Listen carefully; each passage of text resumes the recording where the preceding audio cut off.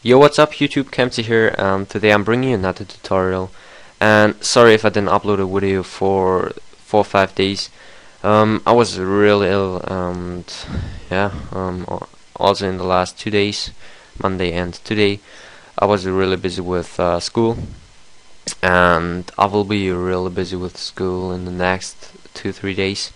So I probably won't upload any videos before Friday or Saturday but you can accept the expect the next video on Friday or Saturday. It will be probably a speed art um, but it also can be a tutorial. And another thing I wanted to say is thank you to Ira for this amazing Crafty um, it's looking really sick and I'm using it pretty much everywhere. I made a YouTube background for this or with this I made the desktop background as you can see here and I also made an iPhone background and this is what we're going to do in this tutorial. I'm showing you how you can make your custom iPhone background. And for this we start over here in Photoshop. We click File New and we open up or we make a new uh, file with uh, 640 pixels on 960 pixels. So just click OK and this should open up. And on this we're gonna go and design our iPhone background. So I'm just gonna figure out where the middle is. Like if you're using the guidelines it should like stack at the middle of this. And yeah. Now as first color you choose like a dark uh, dark gray. And as the second one you choose a black and then you just go on gradients tool this here and then choose the radial gradient which is the second one and then just go from the middle to the top and then you have like a gray um dot in the middle. You can do this with every color you want to have in the middle. Um, I'm just choosing black to gray because I'm keeping that background in dark colors because as you probably know all those tags from apps like uh, Safari or options or that stuff uh, is white. So if you put something white in the background here um, it's really hard to read like the text there. So I'm keeping it pretty dark. And yeah what I'm going to do now is just open up my graffiti which is here and I'm just gonna drag and drop it in here like this. So I'm gonna make it smaller. Rotate a bit. Like so. And then for example just put an overlay like this.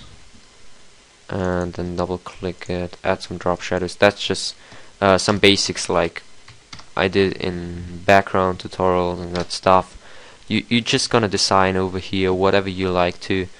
Um, I, I don't think that there's any image size limit you can put on your iPhone. I think it can be every size of an image.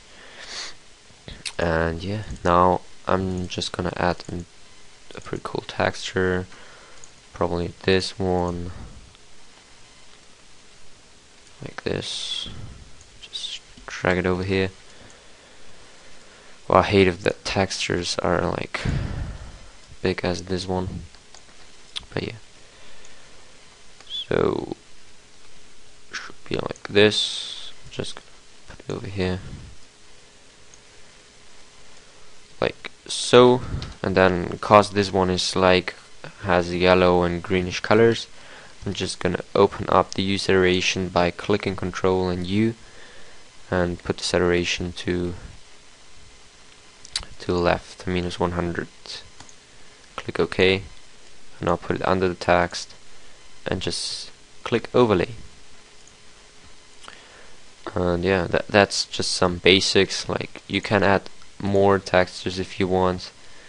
Um, but I'm not gonna do this in this one I'm gonna keep this tutorial as short as possible so you're just gonna make a cool design um, I prefer dark colors because of the text on your iPhone um, or this background tutorial is also for your iPod because they got the same screen size. So yeah. Um, then we go back to Google, and in Google we just type in iPhone 4 or something like that. Go on pictures, and we search out a pretty cool picture where you see like the whole site full of ma uh, apps. Like wow, where's one? Great one here. So we got a great one. Save image as, save it on desktop, and then just download it. Should be somewhere here now. Here it is. So we open it up with Photoshop and then it should be here. And then I just drag drop it over here. Put as first layer as top layer. And then just make it as big like until you see the screen is exactly has exactly the same size than your design. Probably a bit bigger. Like this So, now I see the screen actually got the same size than your actual design.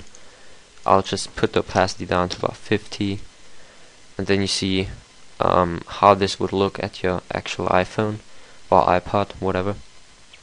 Um, and this little extra I'm gonna make like a grid. You see those apps here and I'm making grid between this.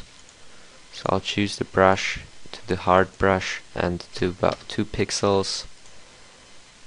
Choose the color to white and then the pen tool. Then just going through here like from here to here or anything. Just stroke path select the brush tool press OK delete the path. No delete path and as you can see actually this one but it's not looking that good. So I'm gonna go back here and I'm making it a bit bigger. Um, I think 4 pixels would be cool. Stroke the path and delete path. So you have it here. And then you can just duplicate it and drag it to the next point. Like to the next here. Duplicate it between those icons here. And then duplicate the last one and just rotate it. That's actually like this. Like that. Duplicate it.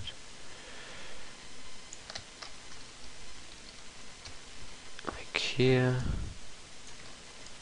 Put down like that and that should be. So what you're going to do now is merge down all these grid layers that looks like this and then choose the eraser um, put it to about 200 pixels and then just go over here at the sides. Make it like this. That's looking pretty cool. You can do whatever you want to do with this grid now. Um, if you use like this, it's looking like this.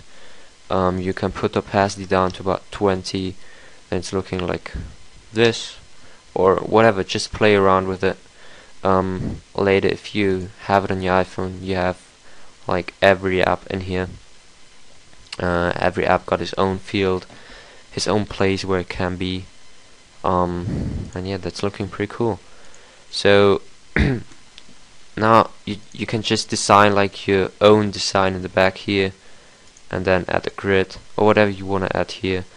Um, it's just pretty much up to you. And yeah I hope you enjoyed this tutorial. That would be now you just go um, save for Web and Devices and then just as PNG 24 and then you just drag it on your iPhone with iTunes uh, as you would drag on a normal picture and hope you all know how to change the background on iPhone. So I don't need to make a tutorial on this. Um, but yeah um, I hope you enjoyed this. Um, I'm looking forward that I can I hopefully I'm hopefully able to upload a video at Friday or Saturday.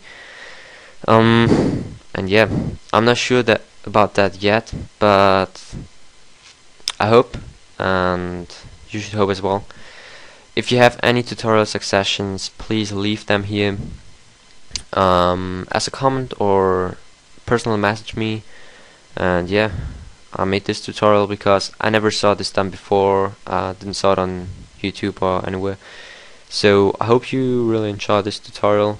And yeah probably uh, you're gonna make your own iPhone background this is not much work you can show out to others like YouTube backgrounds but it's for yourself. If you want to have your own iPhone background and don't want to have like Google pictures or you need to pay for your backgrounds it's pretty cool.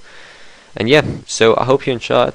Please stay active on my channel. Please leave a like and a comment if you enjoyed this video. And also if you aren't subscribed to my channel yeah please go and subscribe. And yeah I'm out. Peace